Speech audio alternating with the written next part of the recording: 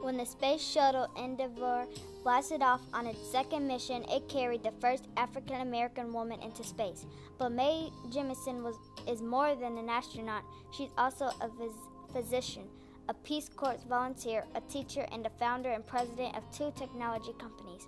Born in De- Decatur, Alabama on October 17, 1956, Mae Jemison moved to Chicago at the age of three and considered the, the city her hometown.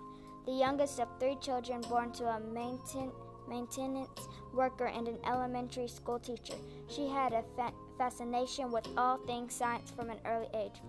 Jemison did well in high school and attended Stanford University on scholarships at the age of 16. There, she attained her Bachelor of Science in Chemical Engineering and a Bachelor of Arts in African and American Studies. She went on to earn her doctorate in medicine from Cornell University in 1981. After working as a general practitioner, Jemison served two and a half years as a volunteer in the Peace Corps, spending time in the African countries of Sierra Leone and Liberia. In addition to English, she speaks Russian, Japanese, and Swahili.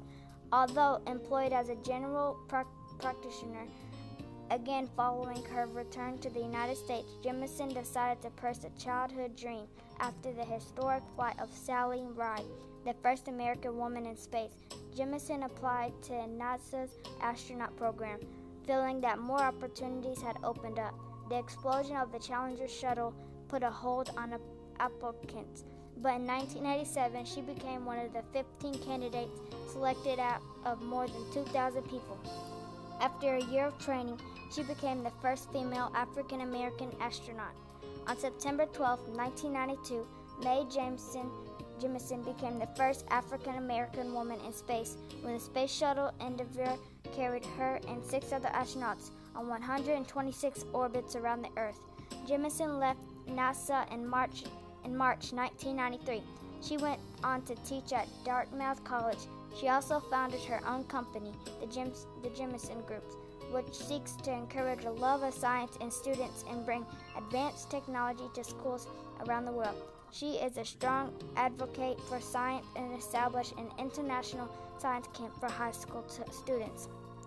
She continues to work today in her leadership role at the at the 100-year Starship program. The project works to make human space travel beyond the solar system a reality within the next century, but in a way that includes and benefits as many people on Earth as possible.